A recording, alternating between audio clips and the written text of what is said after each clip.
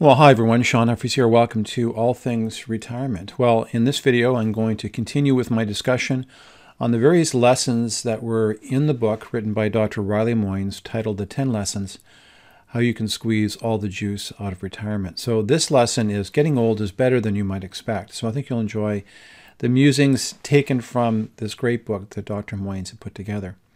Now, if you're new to our channel, make sure you hit subscribe so you don't miss future content. We're posting content all the time on various aspects of retirement planning and overall wealth planning.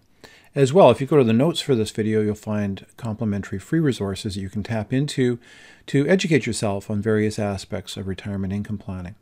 Okay, let's take a look at this lesson. So I got a kick out of how Dr. Moynes started this chapter. Again, getting old is better than you might expect. Um, he shared an experience I think all of us have as we get older, and that experience is sort of this in, internal disconnect between how old we feel we are and how old we actually are. Um, and the other thing is surprise often. How did I get to age 50 or 60 or 65? I don't feel that old. But of course, when we look in the mirror, or sometimes our friends make comments, um, or we look at pictures from five years, even 10 years ago, and we see, yeah, things have changed a little bit. Um, but in saying that, the retirees that are successfully navigating the retirement planning journey uh, and retirement experience um, do have a, an overall sense uh, that is different from what they were kind of expecting their uh, aging experience would be. And what they tell us is not to waste our time worrying about getting older.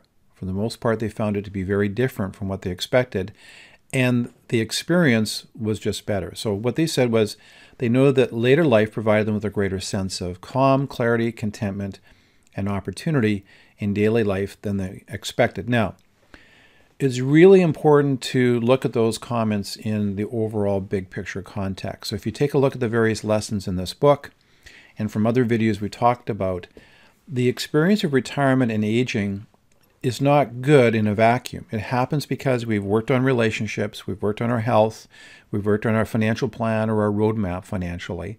And it's all those pieces that are put together that helps to improve the probability that our experience of retirement and aging would be a good experience.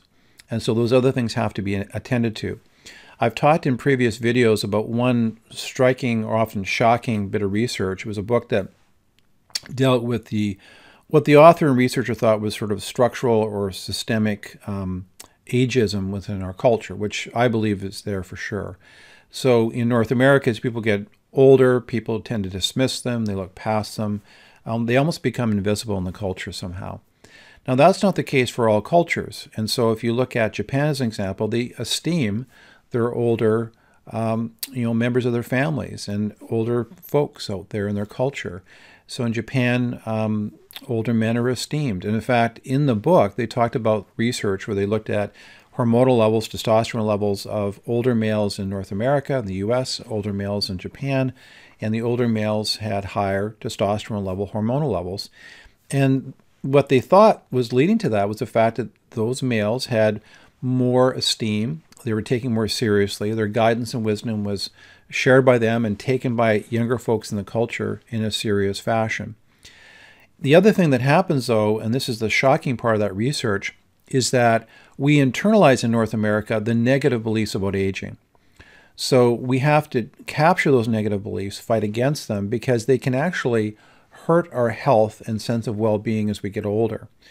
And so I sense when I looked at Dr. Moynes' book and the various lessons that these retirees that were navigating the retirement journey successfully had either consciously or subconsciously fought against ageism, uh, ageist beliefs that were negative, and they embraced beliefs and lessons that um, allowed them to really thrive in their older age so that they could say getting old is better than you might expect. But again, that happened because they were attending to the other areas that I mentioned before.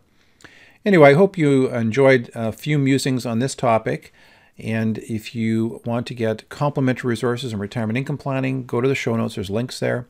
Make sure you subscribe so you don't miss future content. And I'm wishing you all the best in your retirement income planning and wealth planning journey. You take care. Bye bye.